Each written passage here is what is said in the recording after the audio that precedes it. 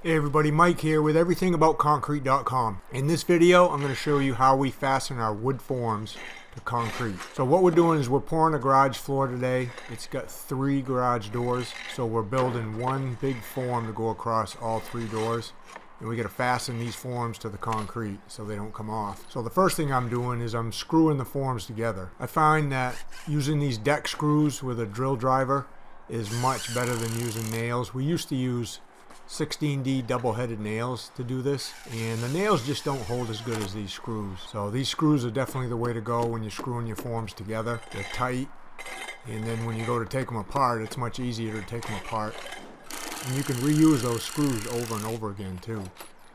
So that makes it really nice. So I'm getting this one big long form put together. It's about 36 feet long this is a three bay garage we're pouring today.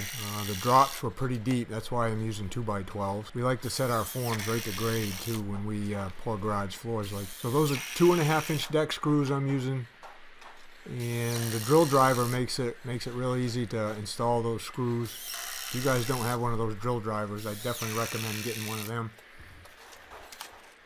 There's links for all this stuff down in the description, guys, if you want to check them out.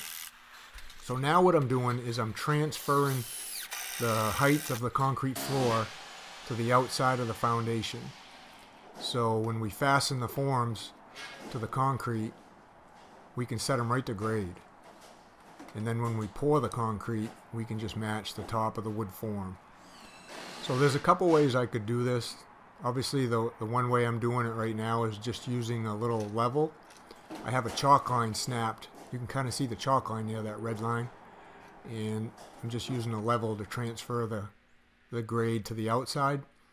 I could also use my laser. I could have set my laser up on the outside and marked it. Either way, works good. They're both easy. So right now I'm just transferring both sides of each door, making sure. We like to set, again, like to set the forms right to grade. And then once we pour the floor and the concrete sets up a little bit, we taper these doorways out a little bit. So it just gives us something to go by.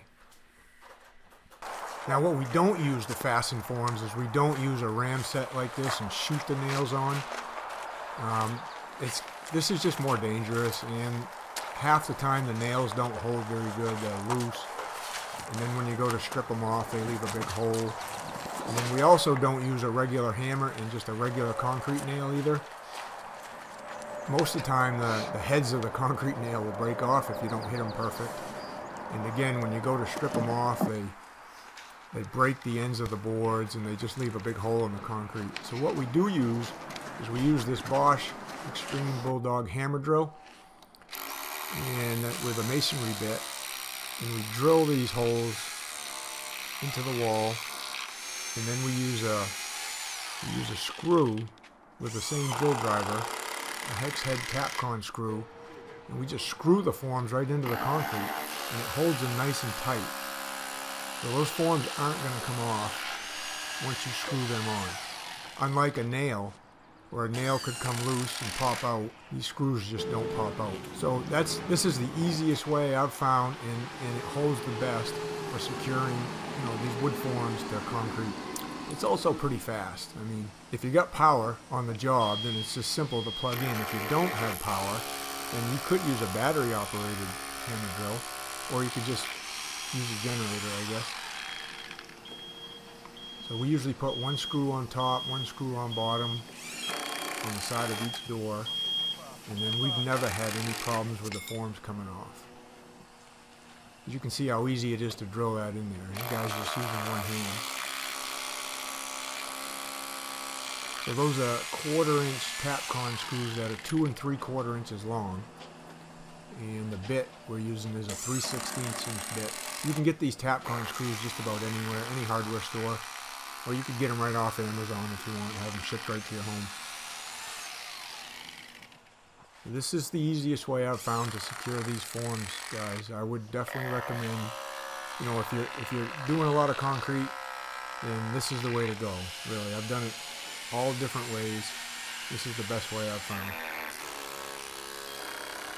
We'll also put a, in the middle of these doors, we'll put what we call a, a kicker or a brace. to keep the middles of the forms from bowing out. We'll use just a metal pin. You can see it laying on the ground and then one of those short 2x4s. That way those doorways stay nice and straight when we put that concrete against it. But that's how we fasten wood to concrete, guys. It's just Tapcon screws, hammer drill, and again, if, if you want any of that stuff, the link's down in the description. If you haven't subscribed to this page yet, guys, this my channel, go ahead and down there and hit subscribe now. And I'll see you on the next video. Thanks for watching, guys.